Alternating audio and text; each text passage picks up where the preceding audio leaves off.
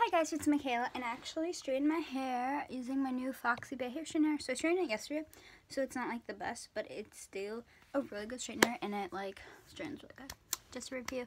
But today I'm going to be doing an Ice Queen inspired makeup look and I have my hair back and I have my mirror ready and I'm so excited for today's video because using glitter and have all my makeup on the floor, but you can't see because it's view. But I also have my robe in the background and my medals because it's fun.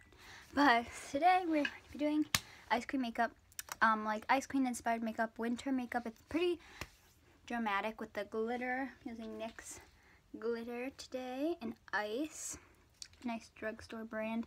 But um, I'm really excited for this video because yeah.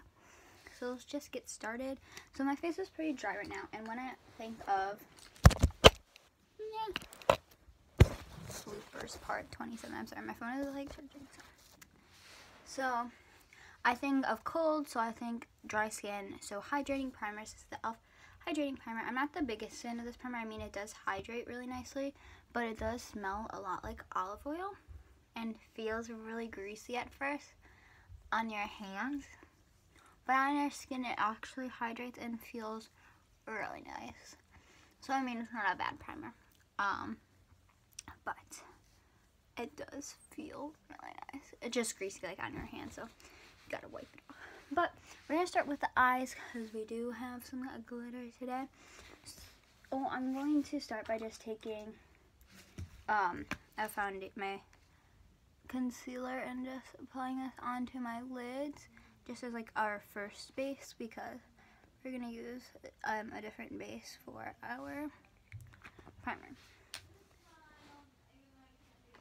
So now I'm going to take the CoverGirl, wrong thing, CoverGirl um, palette in Shimmering Sands. This is a very frosty eyeshadow. I feel like CoverGirl does have some more frosty palette or products, which is perfect for this look. We're just going to use the regular one.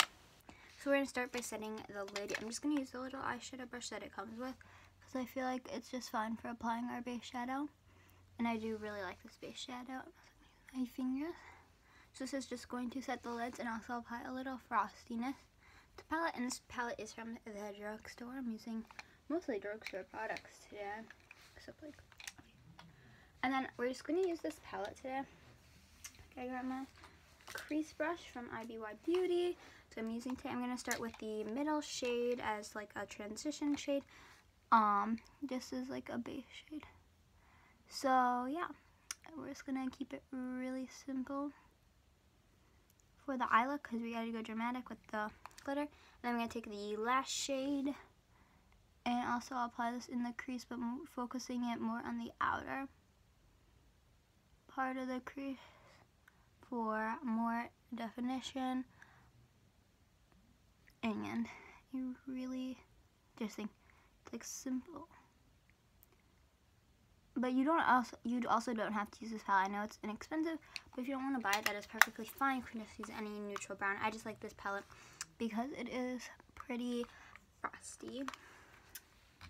So now it's time for the glitter, and I'm not the best at the glittering, but I'll try. So I'm gonna start with the Ulta Nude Matte eyeshadow primer, and it just like farted out. No, no, suck it back in. Okay and I'm gonna apply this onto the lid. And I have my mirror up here because you know you can also use a glitter glue primer if you have that. Or like the NYX glitter glue primer or like the Too Faced Shadow Insurance glitter glue. I'm just gonna use a regular eyeshadow primer. And now I'm going to take NYX glitter and ice. Now you do you can use any brand glitter, but make sure it is cosmetic glitter. So eyeshadow pigment or like there's like any glitter you want to use. I have an eyeshadow brush. I'm gonna dip it in and just apply it onto the lid. Now I do recommend any look with glitter doing your eyeshadow or whatever has the glitter first because you don't want glitter to get all over your foundation and like done face. So yeah, it's a really subtle glitter, which I like. I don't know how well you can see it, but it is definitely there and it's definitely really gorgeous. You can also use like a MAC Fix Plus type product to help set it. I do really like it. Um, how it looks, I'm just going to fix up the crease and do the other eye and I'll be right back. So this is a finished eyeshadow. I know it's kind of a weird angle.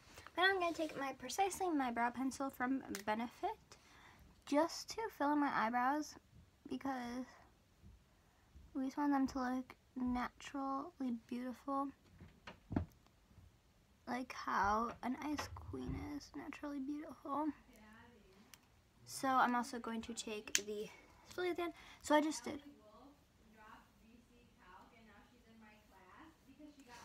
a little bit like that. Like I think it's really good. And also you can take the um elf primer and use that to slightly set your brows back. So, so now we're going to move on to the face makeup because our primer is like set, I guess. So I'm going to use two primers because when I think of the Ice Queen, I think of pale. I'm pretty pale. I meant foundation.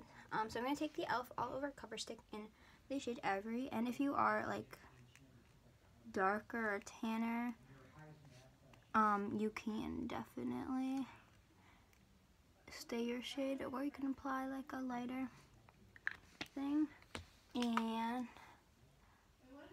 going to blend this out and this um primer works really well with the foundation because it blends it out really easily. This um is a really light coverage foundation but I'm just using it to create an even skin tone that is also light on the skin.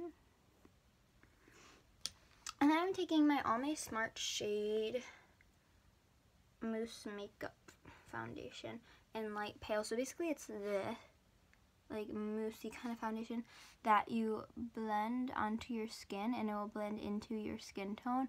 Um, this is pretty old, but yeah. The reason I'm using this is for extra coverage and just for extra color because, you know, light coverage, but like it's also the color because it's a bit paler at first, but then I like blends in, so yeah. I like it. And it's quite easy to blend again, and yeah. And I also my hand. I don't know if it's just on camera because it doesn't look that white in person. Like it doesn't look like I'm a ghost in person. So yeah, I don't know if I like applied way too much or something, now I'm just gonna use my hands to kind of blend it out because it's like really light on camera. So I don't know if you guys kind of look like I look gray or not, but that's not what it really looks like in real life. So. And now we're gonna conceal. I'm just gonna use the Ulta uh, color corrector liquid concealer in pink.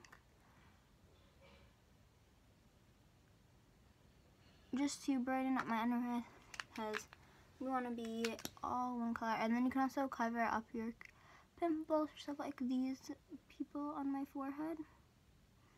And you can conceal or highlight or do whatever. I'm just doing a simple concealer routine. And I have this thing, I don't know where it's from, but it's like fuzzy and it's really good for blending out concealer under your eyes. So that's what I use it for every day in the morning. I like it for blending out products. So yeah, so now I look really oily white. So of course we gotta set the face in. I'm going to be using a powder that I could not find. I just have the Maybelline Master Fix setting and perfecting loose powder. I'll be right back before I do it. And I'm using this powder because it is translucent white powder, so it might cast on. I guess I don't know why this brush is really oily, but we got a set. So I do like this powder. It is pretty fine. And I like a slight mattifyingness. It's not like overly mattifying. But it does set really nicely. And okay, I used it for my dance pictures to like bake. And under professional lighting, it only gave a slightest amount of flashback. So like, if you're taking on a picture on your phone, I don't think it would be that bad because I used professional lighting and there was only like a tad bit, like you couldn't barely even tell. Like I could tell, but like I don't think anyone else could tell. But yeah, this powder is really nice and fine. I don't think it is, but it could probably be a, it could be like a really close dupe for the new Patrick Starrr powder from MAC, but this is what it looks like if you were wondering. I don't know if I said what it's called. So my face is all set and blended. We are going to move on to the face makeup. Good job. This whole video is a blooper reel. And our eyeshadow is staying our glitter. I, you can like intensify the glitter, of course, if you wanted to, by all means. Um, I just didn't because I didn't want an intense glitter. I want like an. So we're gonna start off with the bronzer. So I think not too bronze when I think of Ice Queen. So I'm using the e.l.f. Sunkissed Glow Bronzer just for a nice glow. Now you want to be very careful your face is completely set when you use this because it is a shimmery powder like that. So if you have darker skin tones, you can probably even use it as a highlighter. But for me, it is a bronzer. And I'm just going to use it on my forehead, like in the hairline. I feel like a lot of people do that, and I actually just got into doing it, and I really like it. I'm also going to just go like along the sides of my face, which will just add some bit of warmth. And then also just like down, like you just kind of like on your face. And then I know most people don't do this, but I like to bronze my nose instead of contour just so like it gets warm. And I personally can't contour my nose that well because I bumped it at the side of the swimming pool, and one side is like bigger. So, now I have the Tarte Hotel Heiress bronzer or Hotel Heiress, whatever you want to call it. Heiress. I call it Heiress. But it looks like this. This is a little simple. I'm going to take my same crown brush. And here is a kind of hack, I guess. So you just want to use a really harshest, there's no product on that, a harsh-ish line. This is how I contour. You can probably like paint on whatever you want, but I just think it's like a fun way.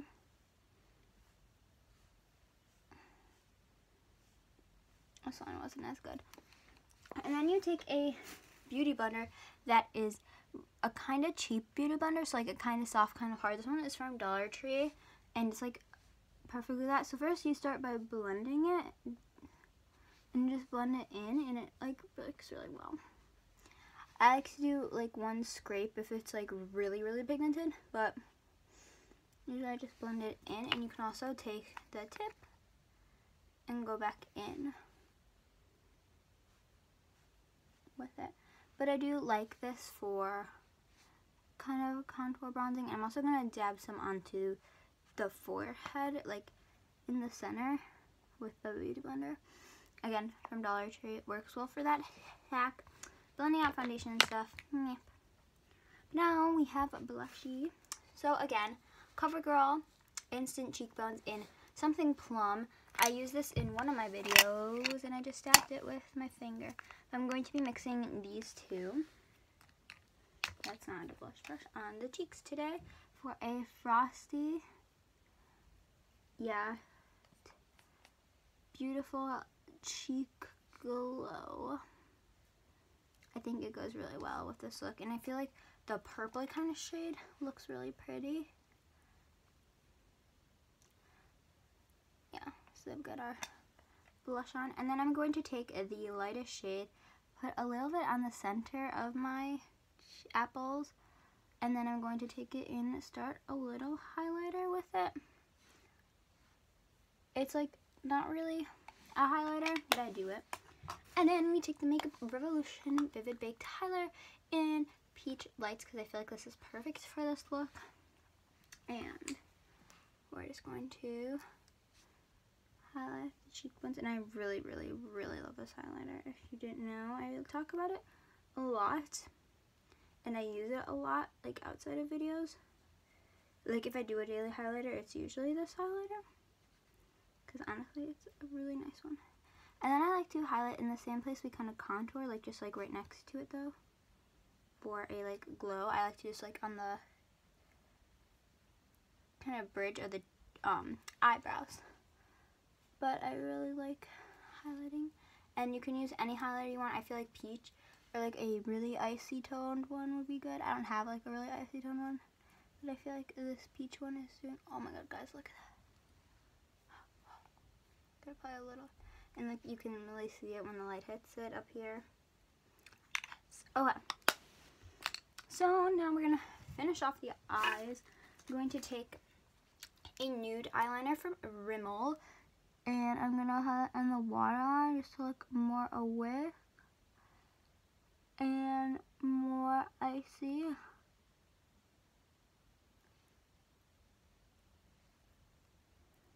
Really pretty. And then I'm going to take a indigo eyeliner from, um, not Maybelline, um, Ulta. This is their gel eyeliner in indigo. And I'm going to put this on the lower lash line like blend it out in the lower lash line. You can also use a blue eyeshadow. And you can use any brand. Blue eyeliner, this is all I really have.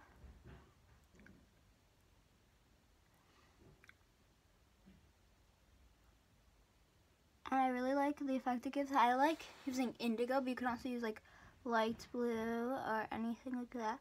Or teal. I feel like indigo looks really pretty because it's like blue purple and I feel like purple kind of reminds me of iciness too. I don't know. And you can apply as much as you want. This one is an okay eyeliner. It's not the best, but still actually really good. Kind of confusing. And now mascara. I'm just going to use the Maybelline Falsies Push Up Angel. Just because I want like a natural but still really nice mascara. But you can use an all-out mascara, of course.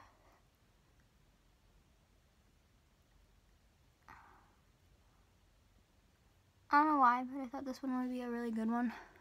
First look, and I'm just going to apply it a little bit. Because we still want the glitter.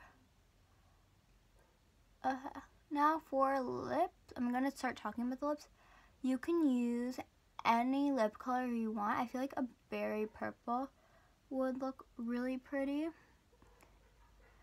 But if you're like me, you can use nude too. So I'm going to be taking a, a sample of the YSL. I would say Yves Saint Laurent, but I don't know in the shade 70. This is from the Sephora sampler set, the really big one, and it's a really pretty nude lipstick. But I feel like a, a purple would also be really fun. And now we're going to spruce it up a little bit. I'm going to take the Ulta Radiant Lip Gloss in Lavender Lightning. This, and I feel like most holographic iridescent, I can't, I can't do that, uh, products don't like really have the iridescence like they say. Um, I'm not gonna say holographic because everyone's like, they're not holographic, and I know. And this one has a little shift of purple to it, but not really. So yeah, and then I'm gonna take the glitter again, NYX glitter, cosmetic glitter. You have to do this with cosmetic glitter, or I think even edible glitter would be okay because it's like safe, but I don't think it would work as good. No, I don't think the glitter part is practical for like every day. Cause like this look could be an everyday look. If you want to go for a little mold, like even with the glitter on the lids really naturally. Uh, this one is not really practical. One, because it is pretty gritty the feeling. This is like more for like fun. But also, it's like not really natural. And, oh my god, it sticks really good to the lip gloss. So, I'm going to... You can see there, it looks really pretty. So this is the finished look. I hope you enjoyed this Ice Queen inspired makeup. I really like how it turned out. I'm really proud of myself for coming up with that like ice cream kind of look. I hope you guys enjoyed this video. You subscribe for a really fun two fun videos coming up. Have to do with my makeup Christmas presents. Also like the Jaclyn Hill X Morphe palette. Oh my god, I'm gonna do a video with that and my ear like felt really But I hope you guys enjoyed this video.